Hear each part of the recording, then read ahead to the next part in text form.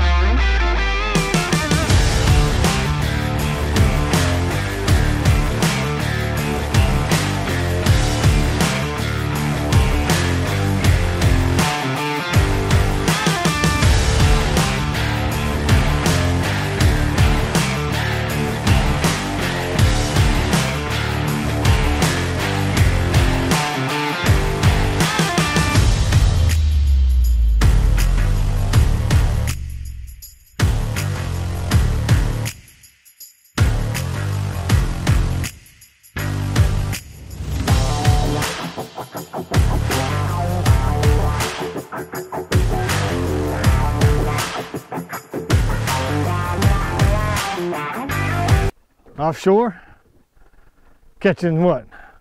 Lane snapper, mangrove snapper, grunt, yellowtail. Get him, Jacob's home.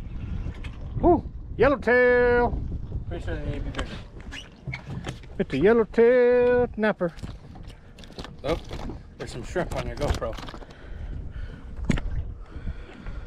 It's the yellowtail. They need to be bigger. Yeah. Oh, it's coming. Beautiful yellowtail though. Oh, oh, get him, get him, get him. Oh, oh, oh, reel, reel, reel.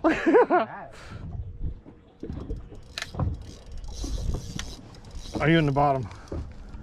You're in the bottom. He got you. Oh no, he's the, yeah. He took you into the took you into the rocks. That's why you got to stay just a little bit off the bottom. So,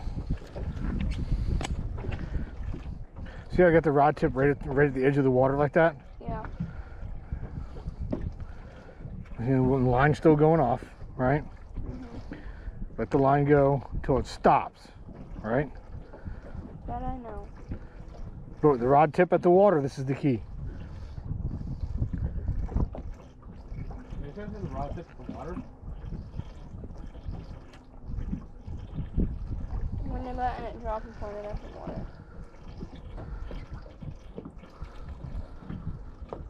Stopped. Lift up.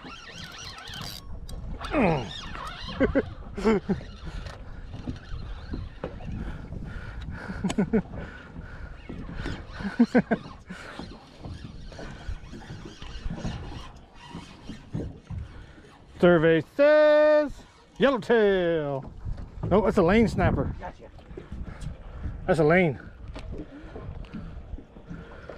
Someone's hitting it.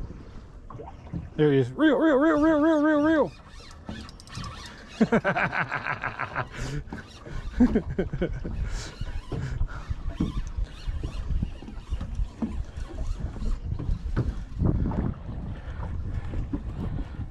what we got here?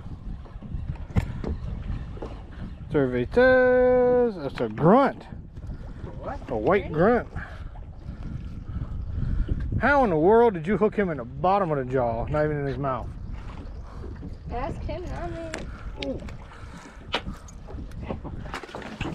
What you got over there? I had something light, but I had something heavy. Jacob Lane has here two options. It's a Mr. Big Line Snapper. Get over here. Hello, Mr. Lane. Let me see. Hey, is he 11 inches?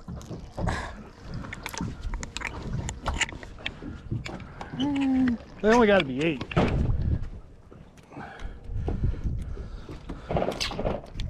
That? The other guy's still alive? I didn't measure him on the thing. Put up to 15 inches. That other guy's still alive? He's ten.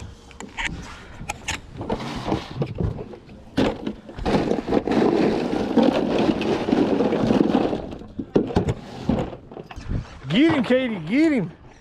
Fast and furious.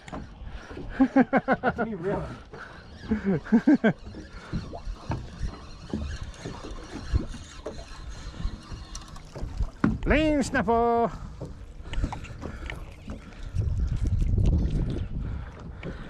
He's too small. You're lucky, Dick.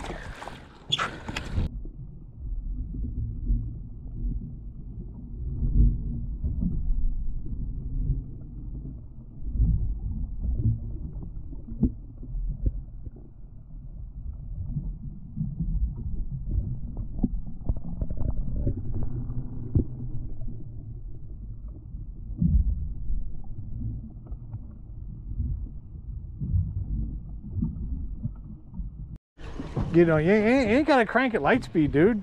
Once he's hooked, he's hooked. Cranking at light speed ain't gonna get him up any quicker. Mangrove, he might, he might go 12. He might go 12. Is he Mr. Dinner? If he goes 12, he is.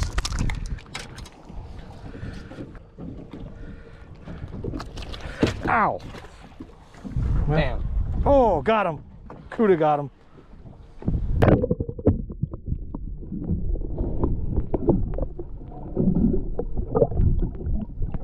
What